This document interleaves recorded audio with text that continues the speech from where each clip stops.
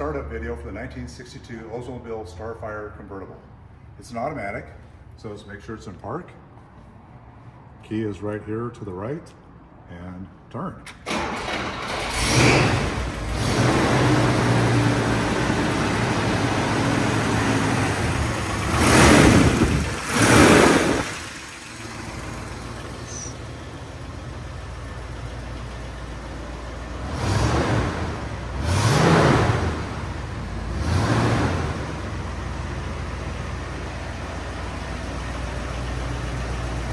Thank you.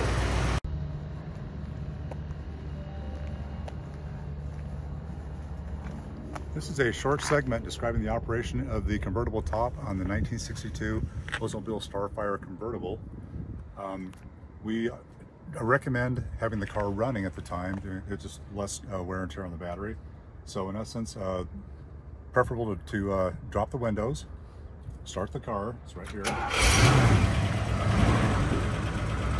The latches are open on both sides. Visors are down slightly.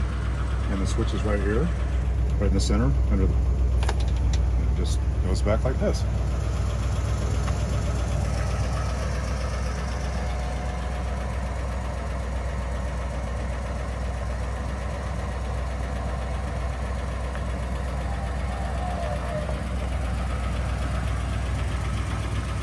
And now we'll put the boot on.